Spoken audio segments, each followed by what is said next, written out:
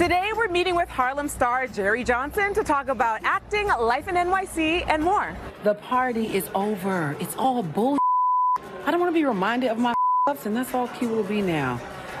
Might as well make it official. Off the top, let me just get the elephant out of the room. We are not in Harlem. No. We're actually in Midtown at a restaurant that you brought us to, Le Botaniste. yes. This is the dish I get most often, which is the Tibetan mama, because I love curry Yes, and it some smells rice. fantastic. And then we have the chili, which is always so good and so hearty, with the sour cream on top. Mmm. mmm. Funny, mad beautiful. Amy likes me.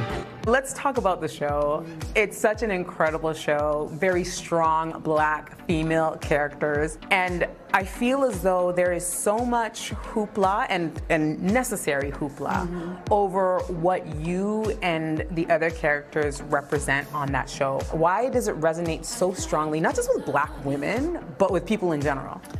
I think because it's so specific in its complexities, right? It's like usually we see women and either they're completely perfect or they're completely broken, right? We don't see the discovery of things a lot because a lot of times, you know, we have these female characters that aren't written by women. And so to follow the lives of four different women from four different backgrounds, living four different types of lifestyles, but coming together as best friends for that love to be palpable on screen and for people to get to see because you know, I've never met somebody that's like, I only identify with Angie and that's it. Mm-hmm. Ever.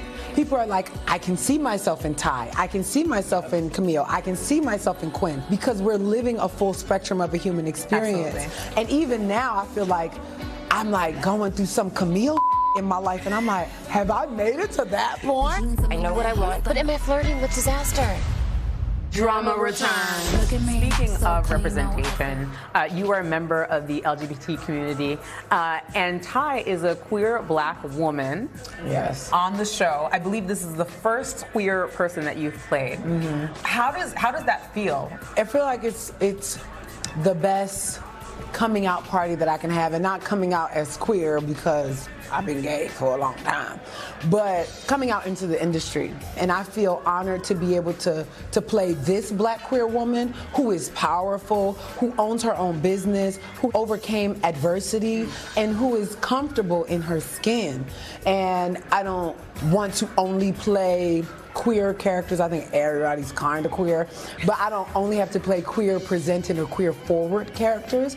But I'm so happy that as a queer woman, I got to do this first as my introduction into the industry. Yes.